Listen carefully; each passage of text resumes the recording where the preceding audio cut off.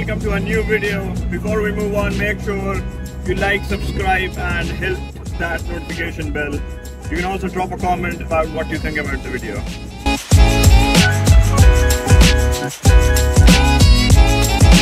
Today we've actually got a couple of things to do. Uh, new projector headlights are going on the Beetle. Uh, there was an air vent missing that has to go on.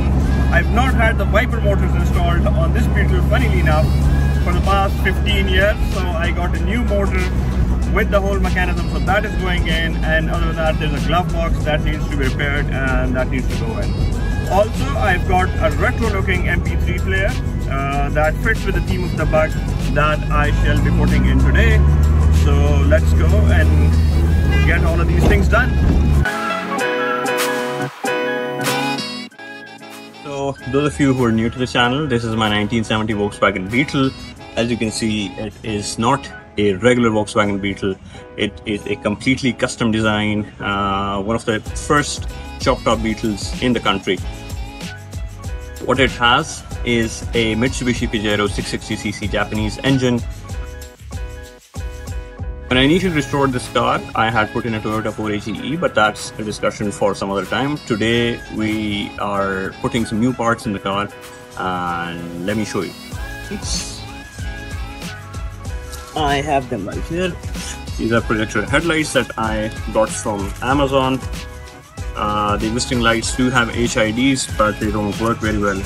This is what will be going in.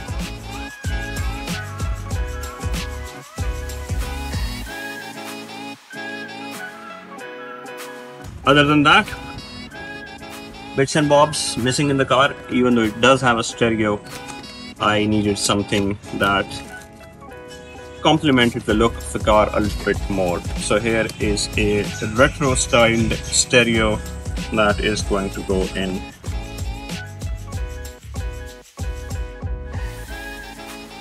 Other than that, some other goodies that I have lying around are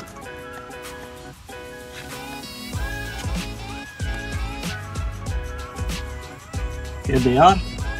So let me pull this seat forward.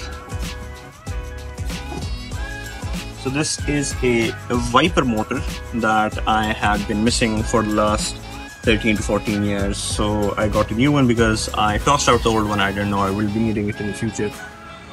Then there's this glove box that I bought.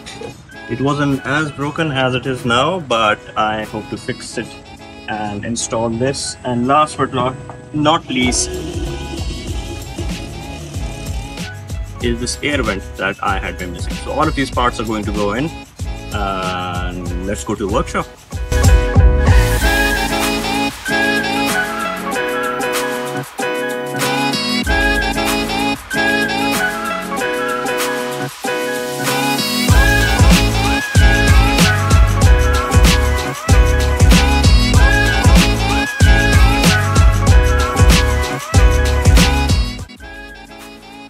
So while my electrician at Farkasad is working on the Beetle, I will give you a quick tour of my other project, this 1986 Honda CRX.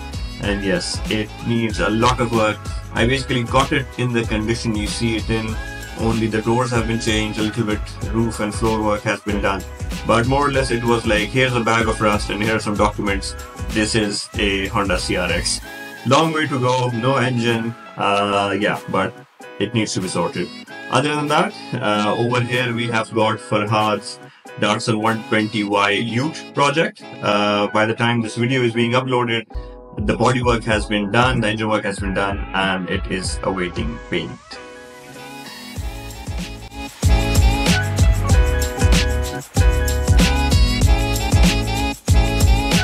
So the lights are installed and I have to say I'm pretty pleased with the result. The wiper motors and the stereo are also in and I am really happy with that result as well.